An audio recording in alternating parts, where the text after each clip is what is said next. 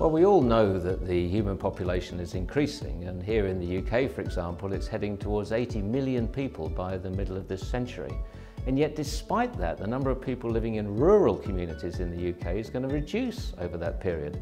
So smart cities are about the way we cope with all of those people moving together, clustering in cities and giving them a quality of life that means that they're happy to stay there.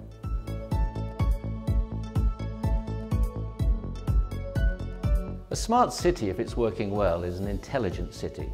It gives you what you need when you need it.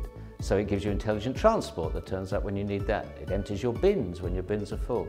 It monitors whether you're well and whether you need somebody to come and see you. So it's an environment that people want to live in and it's one that's very efficient in the way that it uses energy and other resources because it's got people close together.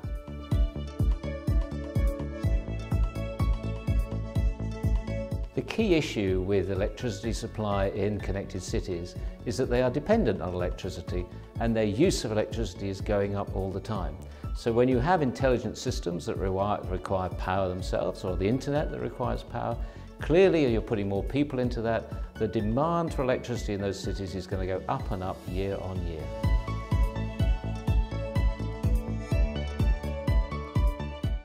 The implications of electrical failure are that when all of your systems, your intelligent transport, your intelligent waste removal, your intelligent health monitoring, all depend on electricity. Clearly, if there is no electricity, your smartness disappears, your smart city suddenly becomes dumb.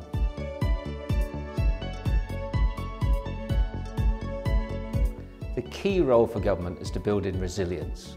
We know the dependence on electricity and internet, and so government needs to be the risk manager to ensure that when those go off, which they occasionally will do, there are systems which will continue to operate to ensure that chaos doesn't break out.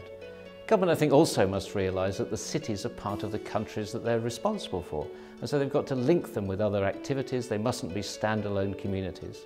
And finally, I think governments need to look at the skills of the people who are living in those new smart cities.